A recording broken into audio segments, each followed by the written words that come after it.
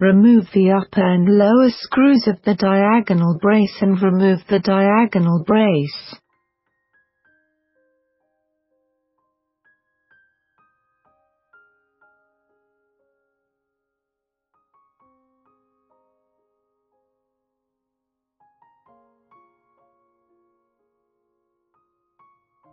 Remove the fixing screws on the gantry and remove the fixed plate on the lead screw.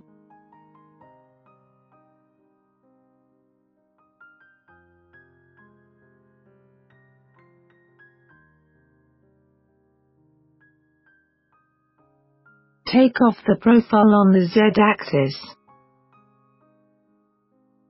Loosen the machine screws of the synchronous pulley and remove the synchronous pulley and synchronous belt.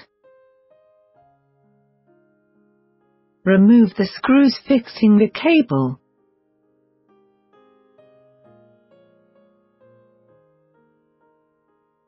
Carefully disconnect the nozzle connection wire, X-axis limit switch wire, and X-axis motor wire. Place an appropriate item under the X-axis profile.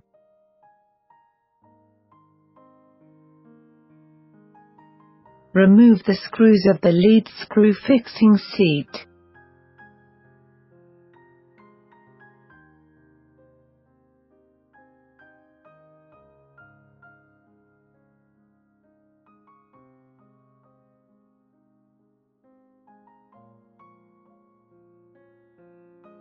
Carefully disconnect the cables of the Z-axis motor. Remove the screws fixing the cable holder on the motor.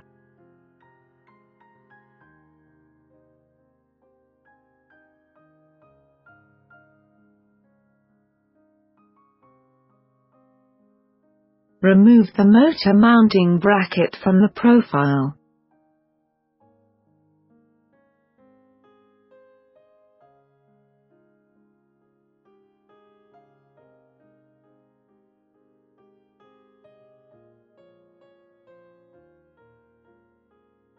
Loosen the T-shape nut and handwheel nut on the synchronous belt adjustment seat.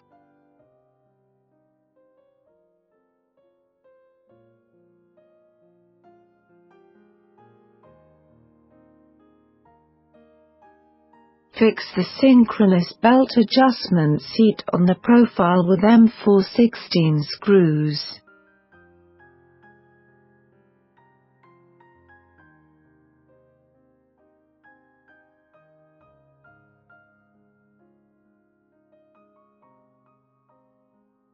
Tighten the two screws below.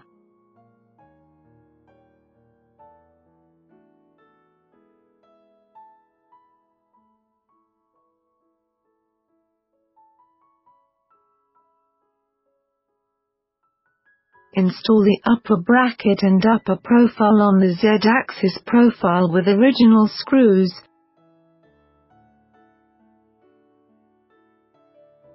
but do not fully tighten the screws yet.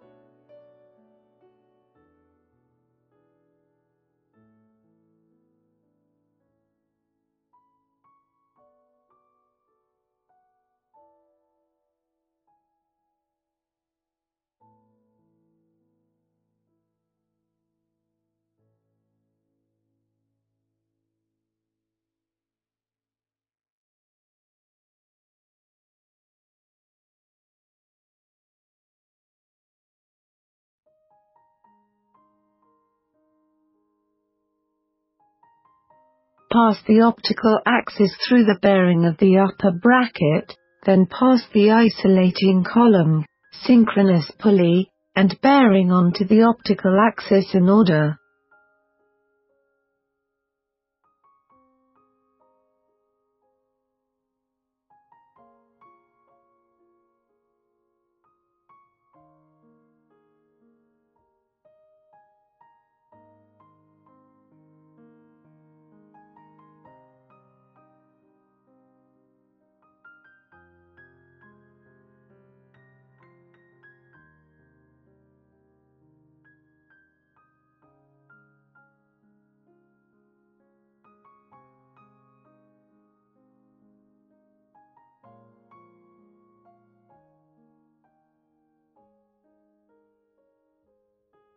Leave a similar distance on both sides of the optical axis.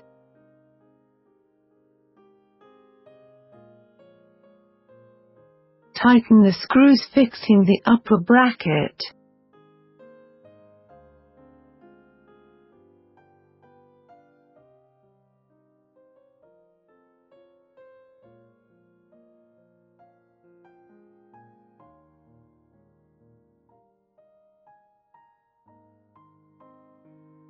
Loosen the screws of the coupling on the Z-axis motor and remove it. Remove the plastic seat from the motor.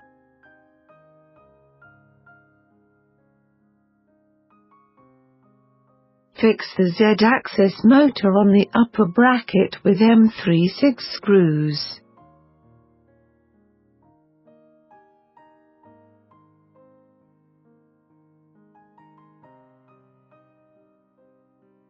Place a short isolating column inside the optical axis. Fit the large and small synchronous pulleys in synchronous belt on the optical axis and motor.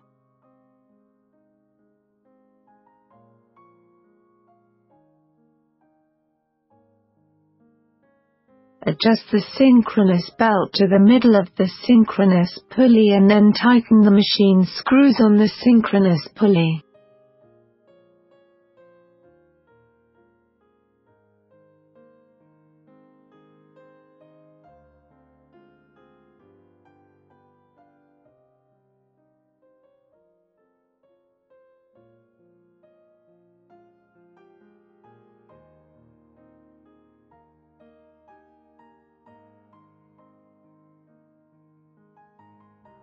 Tighten the screws fixing the motor.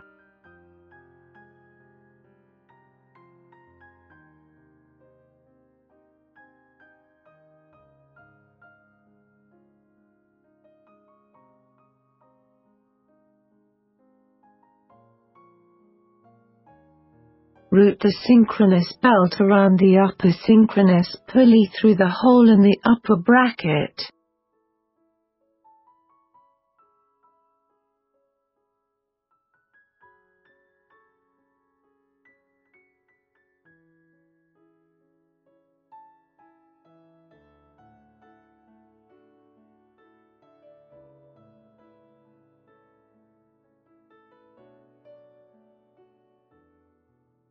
Route the synchronous belt around the lower synchronous pulley.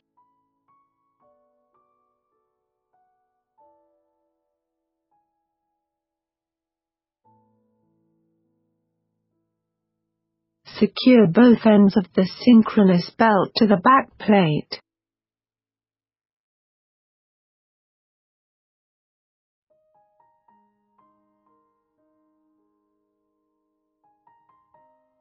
Support the printed part with bearings and wedge it into the upper bracket.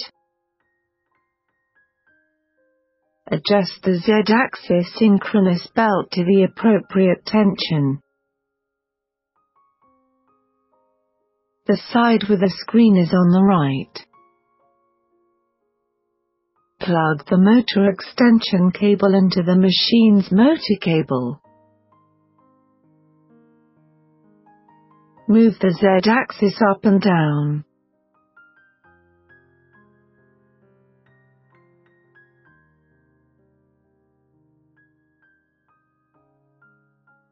Then tighten the machine's screws on the upper synchronous pulley.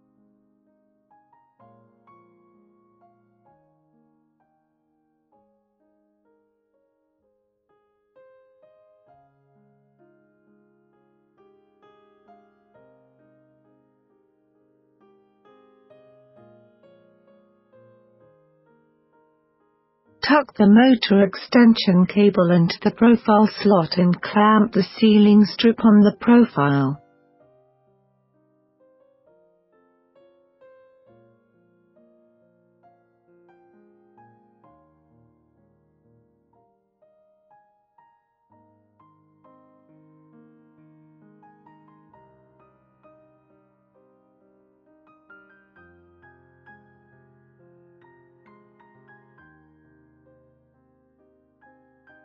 Use tape to secure the cables.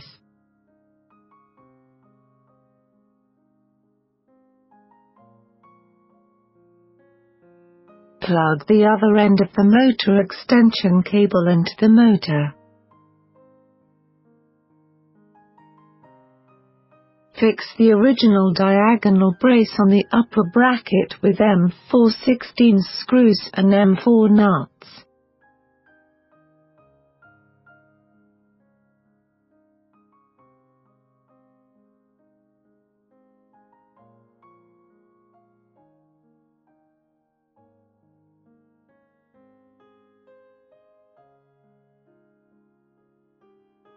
Fix the other end of the diagonal brace to the profile with original screws.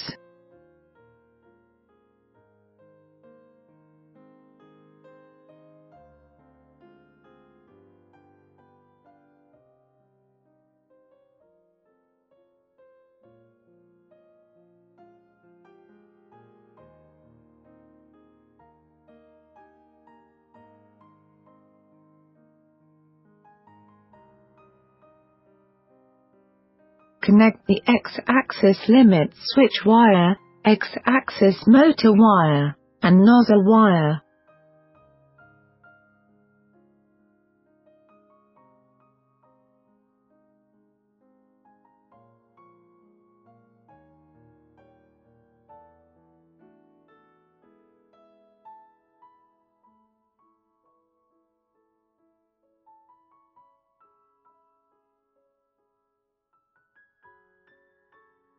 Secure the printed part, STL file may be modified later, to the back plate.